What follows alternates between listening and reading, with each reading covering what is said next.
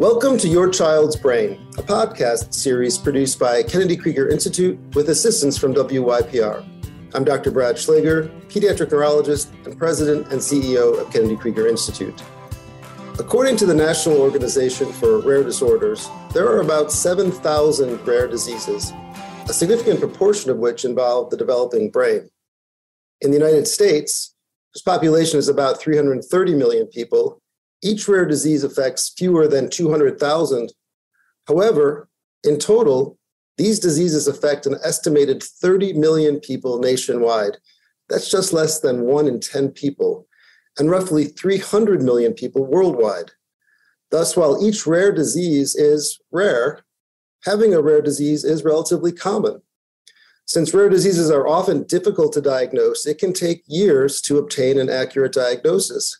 And even after an accurate diagnosis has been made, specific treatment remains unavailable for most because fewer than 5% of rare diseases have a treatment approved, for example, by the Food and Drug Administration. As a consequence, rare diseases are often devastating, accounting for roughly a third of deaths in the first year of life. And in addition to the morbidity and mortality, they can be exceedingly costly to patients and their families. So today I'm joined by two of my colleagues at Kennedy Krieger Institute who are on the front lines of working to find treatments, specifically disease modifying treatments for rare diseases affecting the developing nervous system. Dr. Ali Fatemi is the Chief Medical Officer at Kennedy Krieger Institute and Director of the Moser Center for Leukodystrophies and an investigator at the Hugo W. Moser Research Institute at Kennedy Krieger. Dr. Fatemi is also professor of neurology and pediatrics at Johns Hopkins School of Medicine. Dr. Erika Augustine is the associate chief science officer and the director of the clinical trials unit at Kennedy Krieger Institute, as well as the director of the Batten Disease Clinic at Kennedy Krieger. Dr. Augustine is also an associate professor of neurology at Johns Hopkins School of Medicine. So, welcome, Ali and Erika. And Erika, let's start with you and some definitions. What is a rare or orphan disease? Are these different concepts, rare and orphan? A rare disease is any condition or disorder that affects a small number of people. Sometimes you hear orphan as well. And um, just as you, you ask, you know, are they the same thing? Are they, are they different? And we use those words interchangeably. They generally mean the same thing. But orphan likely emerged out of a concept of vulnerability or abandonment or lack of interest when it comes to research or investment in therapy. So sometimes our policies and our laws talk about orphan diseases or orphan drugs, but in reality, we're talking about rare diseases altogether. That, that interest issue um, has been a really important one for a long time. Ali, given our focus here at Kennedy Krieger on the developing brain and, and nervous system, how many rare diseases involve the developing brain? That's a very good question, Brad. There, as you mentioned, there's already at least 7,000 known rare diseases, and uh, on average, there is about a couple hundred that are being discovered every few months. Uh, and we know that somewhere around 4,000 of them at least will develop in some form or shape the nervous system. And so that obviously uh, can involve the brain, or the peripheral nerves or the spinal cord. And many times it involves the developing brain or the developing nervous nervous system and can present anywhere from a, child who comes into the clinic with just developmental delay or somebody who comes in with a very specific sort of appearance that we would call a syndrome or somebody who might come in with, with severe epilepsy or autism, where we then identify an underlying sort of uh, rare disease as the as the root cause for for these presentations. So, what are some of the specific examples, Ali? Uh, so, some of the conditions, for example, that that you might see in, in clinic. Yeah. So, when we think about rare diseases, we that that come to us, um, primarily we think about things that uh, affect the brain. Um, so, uh, for instance, a, a, very common cause of intellectual disability in girls is a syndrome called Rett syndrome, which is a genetic disease that presents in young girls and uh, they look normal first at birth and then after the first six to 12 months start losing some skills that they had already gained and often have regression and start having severe seizures and have very specific hand wringing movements that's very sort of typical for that disease. The most common cause of intellectual disability in, in males is Fragile X syndrome, which is another genetic disease uh, that affects boys, and and they usually present with developmental delays and uh, features of autism and can have seizures as well. Another way to think about it is also diseases that are rare diseases that are not primarily affecting a nervous system, um, like sickle cell disease, which is a disorder of the blood cells, of red blood cells. And sickle cell disease affects primarily the blood cells, but we now know that because of the anemia that they have, and the, and the deficiency in, in red blood cells, they actually have abnormal brain development and can have significant brain disease. So we can see it from both sides, either primarily a disease that affects the brain or something that affects the entire body or part of the body, but in, indirectly that involves the development of the brain. The kinds of diseases that you just uh, discussed have been mostly genetic or inherited. Can, can rare diseases also be acquired or uh, like the result of an injury or other kind of illness, for example? They certainly can be caused by injuries. They certainly can be what we call acquired. So, not something that's inherited or a risk factor present at birth. Things can happen that come about later. Spinal cord injury is an example of that.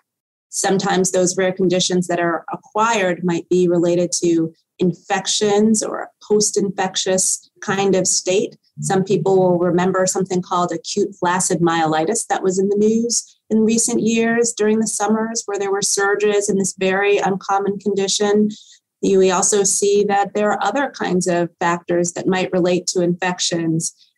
The coronavirus uh, has certainly not been um, rare, but in children, there's a specific kind of condition that occurs multi system inflammatory syndrome in children, or MISC for short. And that is rare. It's a rare consequence of the coronavirus pandemic that we've seen. Many people know uh, people who have had brain tumors. Each individual type of brain tumor is considered rare. And I, I mentioned when we were talking about what is a rare disease earlier that there's a there's a regional context or each country has its own definitions but, but that even goes into how diseases occur. So there are some conditions that are very common in some places that might be very rare in others. Malaria comes to mind.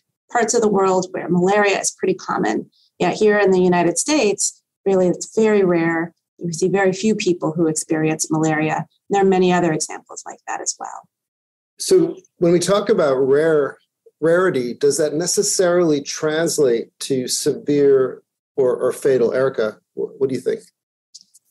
And not all rare diseases are, are fatal, but certainly they tend to be serious, severe, chronic illnesses. You mentioned that um, they're a leading cause of childhood deaths, particularly in very young ages. And many rare diseases are associated with shortened lifespan. Uh, but even beyond that, we know that these are conditions that require medical attention and that they often require medical attention over a number of years in a chronic kind of state. So they're really important and significant conditions, even though any one disease affects relatively few people. I mentioned at the outset that that it's collectively somewhat common to have a rare disease. Can, can you comment further on that? The, the notion that while individual disease rare diseases are rare, collectively it's it's relatively common. Very common. One in 10 people has a rare disease of, of one sort or another. And I, I do think it's important for us to think about rare diseases both individually and collectively. So the scientific knowledge that we have the information that we need to know to provide care and to give guidance to patients that a lot of that has to do with the specific individual disease but when it comes to what it means to be a person who's impacted by a rare disorder, trying to access care, trying to find expertise and the resources needed, or for a rare disease, the challenges that are faced in trying to create new treatments, collectively, rare diseases share a lot of those same issues and barriers. So we need to look at both the individual and the collective. Ali, can you can you uh, tell us a maybe as a sort of a story about a, a child, uh, maybe a patient that you've interacted with who has an orphan or rare disease, who's right now hoping for, for treatment or cure and the, the kinds of problems that um, real life, real world problems that, that that child might have as well as their family. Sure, I can tell you many stories, and one of them that comes to mind right away is this uh, little girl who uh, was born as a beautiful appearing baby and developed quite well, learned to sit at six months, learned to crawl at nine months, started walking at one year, started running around. And just around that same time, after an infection, a, a simple sort of viral infection, started uh, becoming more clumsy, running into walls, falling down often, and started complaining about pain. Um, she appeared very tired. She ran out of energy. And it was very hard to pinpoint what was wrong with her because she was so young. So she was evaluated by multiple doctors and multiple specialists and eventually ended up taking pictures taken of her brain and they saw something very abnormal. And um, eventually saw a neurologist who who knew what that could be and did the right genetic testing and pinpointed the diagnosis. The disease that she has there's not even a point to mention the name because it's less than 100 people that we know of who have it, and it's a super rare disease. Um, but it's a genetic disease. And at the time, there was really nothing known other than how what is the gene that's involved in this disease and how it can present in some individuals with no therapies and no intervention. So the parents were left quite hopeless and uh, were searching around. And, uh, you know, long story short, about six years ago, um, we started together with them a research program here where um, they initially raised some money um, to to build an animal model for this disease, a model that would mimic this disease, and that would be something that would help us to understand the mechanisms involved in this disease, but at the same time also use it as a test bed to test therapeutics. And so, fast forward now, you know, she's a teenager. Um, she has some disability. She has walking challenges, and uh, she needs to, to, have some support when she walks around. Uh, she's in, in in high school now, in ninth grade, and we have meanwhile developed a uh, you know we've raised together with this family and others millions of dollars to to start a serious research program on this disease, and have now developed what we call gene targeted therapies for this disease that are still in the what we call preclinical stage so still not in patients but being tested in in model systems. And we are hoping that we're going to start clinical trials in the next two to three years.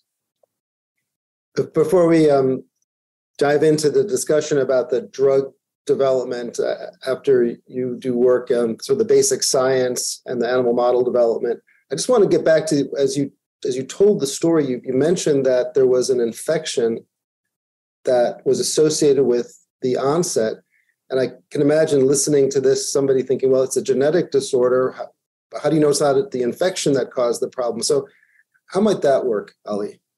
Yeah, that is the the challenge in genetic diseases often that they masquerade themselves as something that we think is different. And um, and, and so it's not uncommon actually for many genetic diseases that involve uh, the metabolism in the body that they will be uh, induced or they will have an exacerbation following an acute illness. And it can be a simple illness like a flu or you know a, a urine tract infection or diarrhea that basically results in a metabolic decompensation and a normal person would be able to tolerate it well. But if you don't have the right set of uh, metabolism, you will start presenting with symptoms. And this was exactly the case here.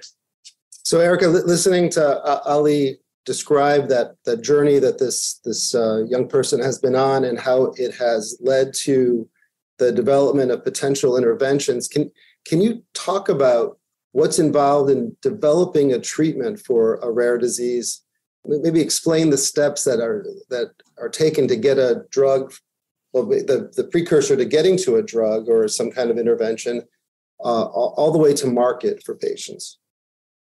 There's so much that's involved and you know when i hear ali talk about this this patient this young girl and her family uh, they're really on a journey. And for her that journey is an exceptionally involves an exceptionally rare disease where a lot may not be known. So when it comes to therapy development, it really starts with an idea and an idea for a, therapy or an intervention that might work.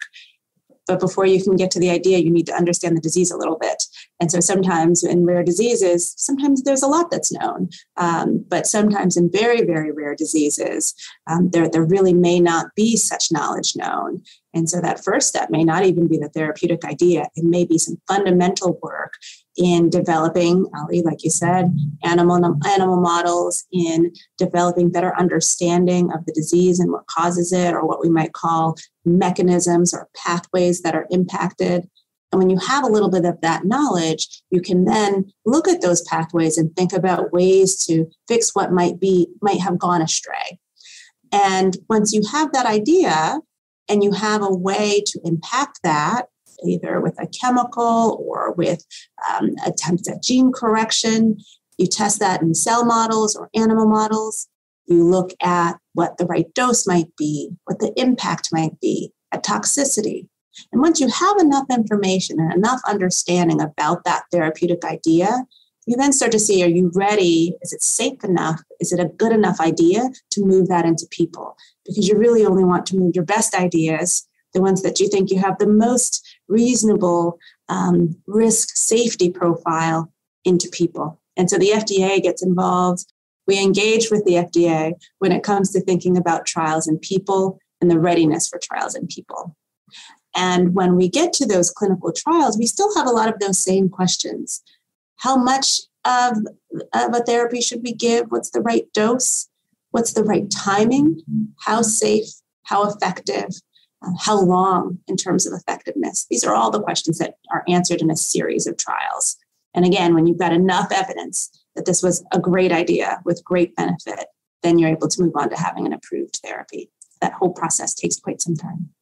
It's a complicated process that has a, lot of participants. Um, people like like the two of you, for example, doing the, the front end work leading to the ideas that could potentially lead to the, the, the kinds of interventions.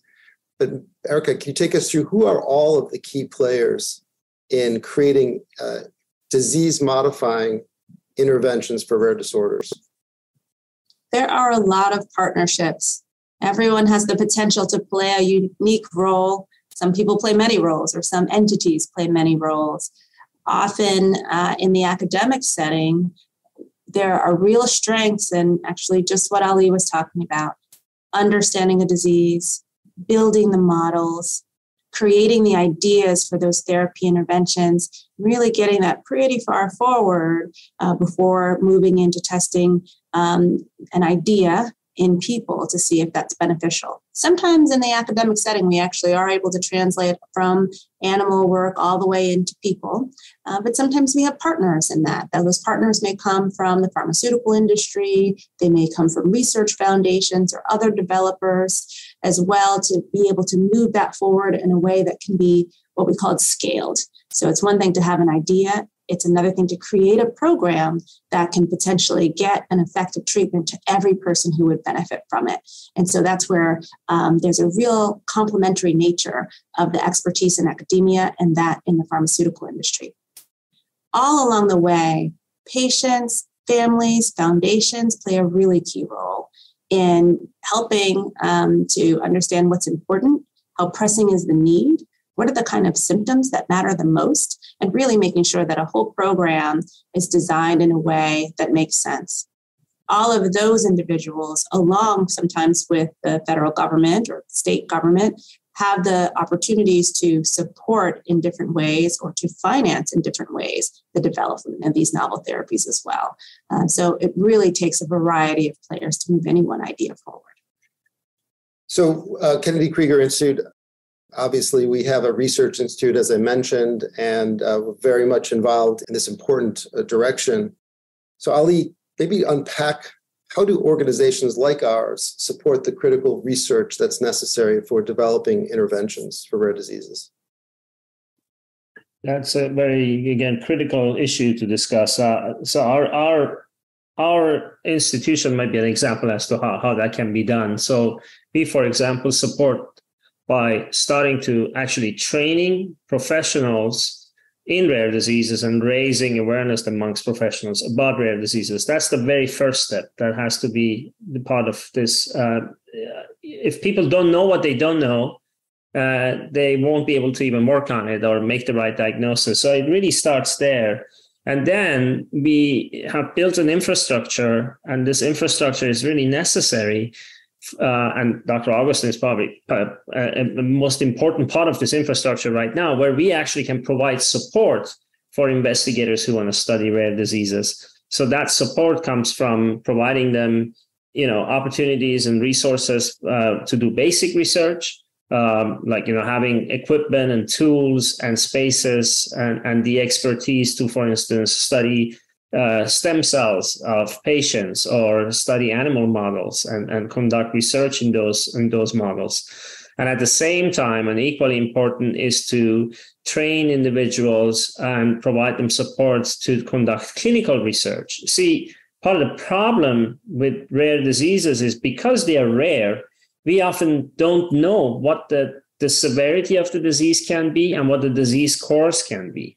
And so we really need to first, before we go into treating patients with a drug uh, for a trial, we need to know what are we going to be looking out for. And so uh, that that is where understanding the outcome of a disease is really critical, and and building an infrastructure that allows you to use say psychological testing or specific quantitative testing like MRIs or motor testing um, is, is really critical to to sort of uh, conduct this this type of research. And so these are all uh, infrastructures that have to be built for an institution to be able to conduct rare disease research.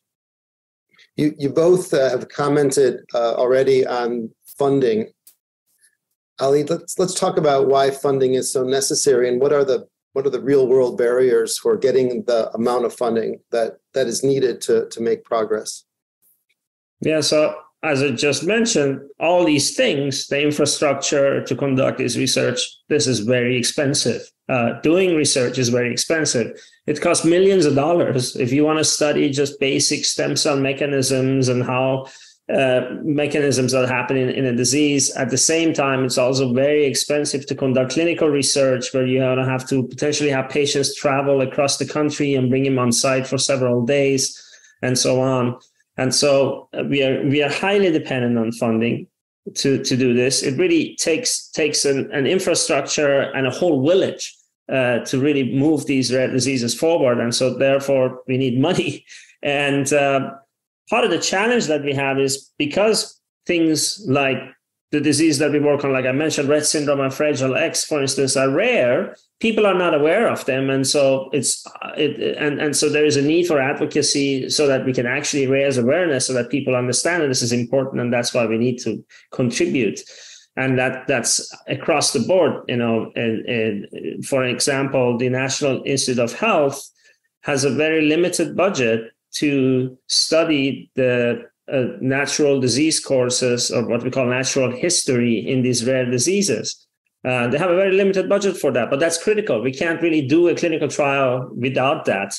And so we often are highly dependent on foundations and advocacy groups and donations that will fund these type of research, the type of research that's really critical, but is not necessarily uh, given priority by, by the, by the regular funding agencies it's a great segue to the, the topic. Actually, Erika already talked a bit about the role of patients and families in, in the research enterprise. But in common disease, people with a common disease don't necessarily have to participate in research because, well, there are many other people who might be able to. But in rare disease, so often patients and their families not only are dealing with the burden of the disease, but also the, the burden of participation. Erika, can you comment more on, on the role that patients and families play in, in this effort?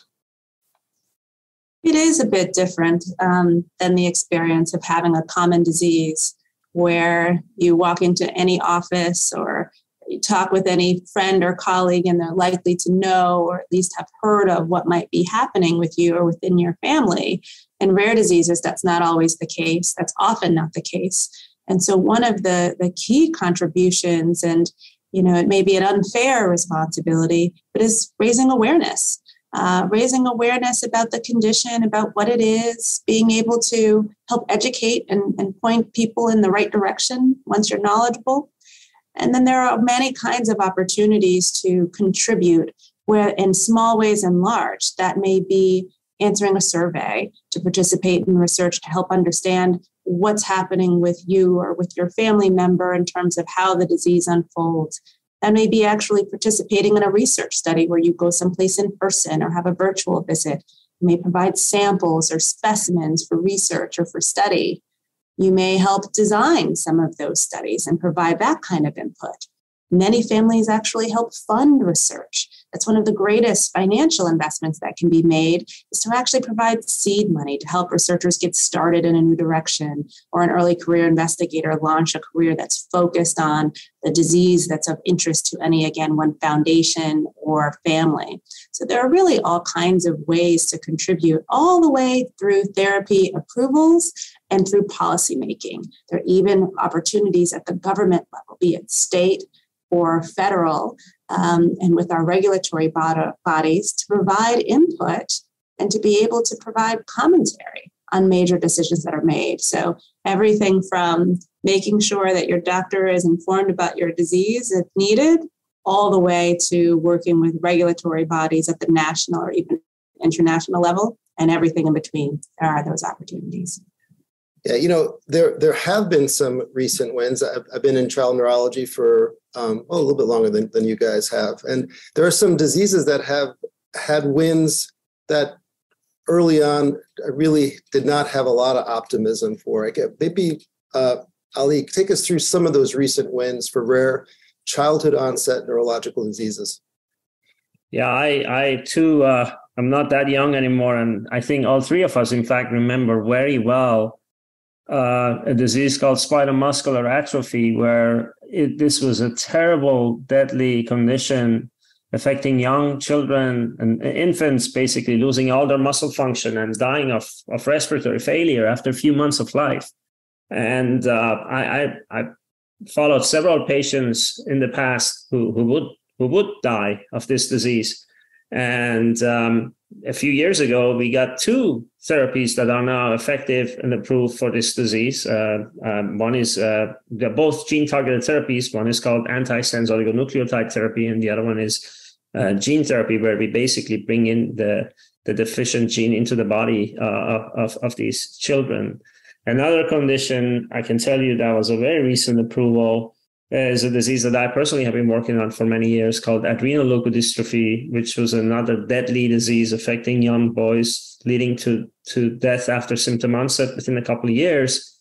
And we now have an approved product, again, another gene therapy approach where we sort of fix the, the genetic defect outside the body of these boys and give them back their own cells. So uh, there are many, many trials happening as we speak and and many of these really deadly fatal disorders are becoming treatable uh, as we speak. So so there is a lot of optimism there. Lots of optimism. And um, it, it is really a different landscape than than really just 10 years ago or so. I i but one of the issues that comes with these treatments is that they are costly. And erika I, think a, a straightforward issue is whether the costs for treatment exacerbate disparities that exist in terms of access to care, access to these new treatments. Can you comment on, on your perspective on, on issues around disparities related to th- these interventions?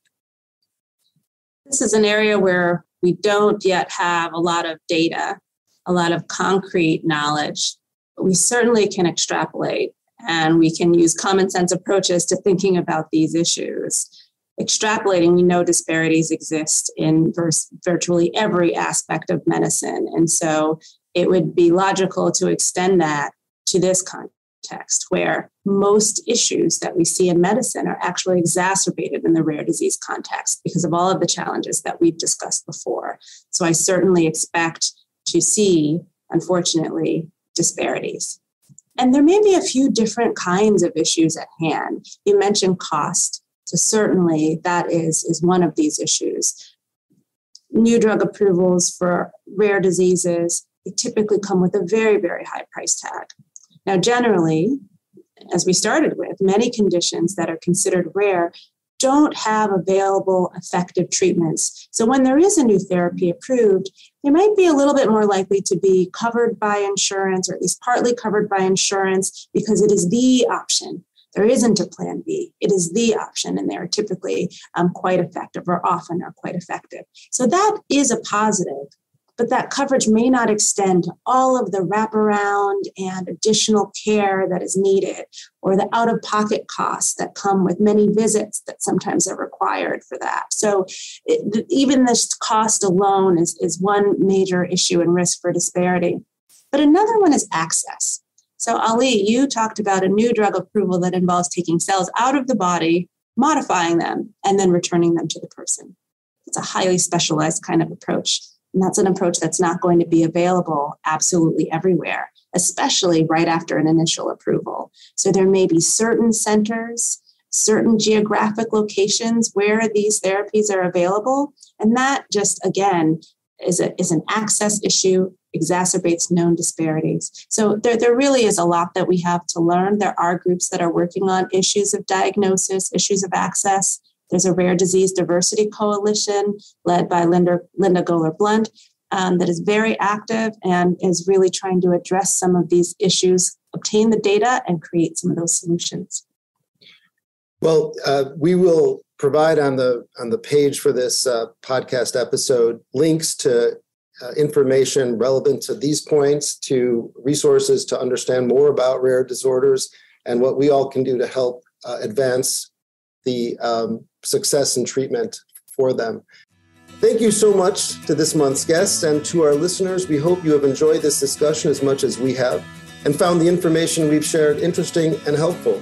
We hope you'll share this podcast with your friends and consider rating it as well. Please check out our entire library of topics on Your Child's Brain at wypr.org, kennedykrieger.org, ypr.org slash studios, or wherever you get your podcasts. You've been listening to Your Child's Brain. Your Child's Brain is produced by Kennedy Krieger Institute with assistance from WYPR and producer Spencer Bryant. Please join us next time as we examine the mysteries of your child's brain.